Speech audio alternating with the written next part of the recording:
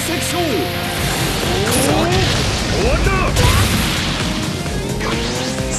行くぜバトン排斥症バトン排斥症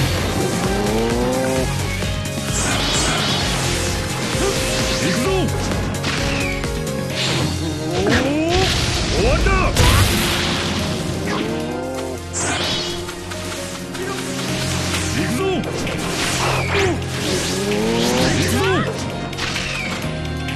行くぞクソ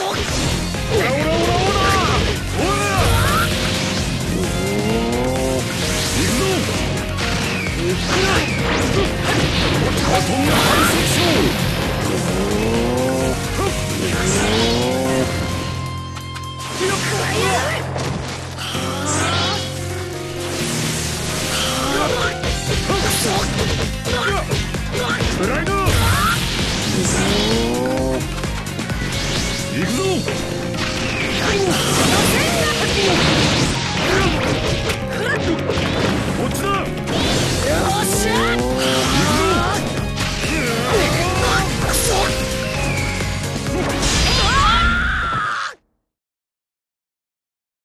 るほど。もう昔のナルトとは違う。わけだ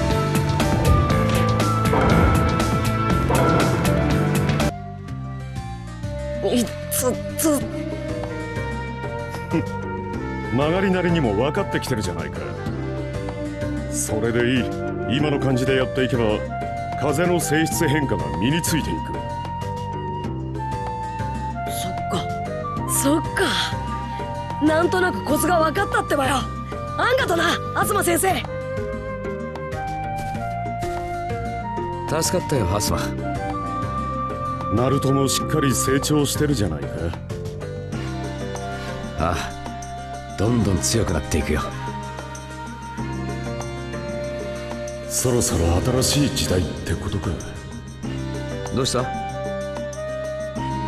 いやそれじゃあそろそろ俺は行くわ。今度礼も兼ねて飯でもおごらせてもらうよ。ああ期待しないで待ってるよ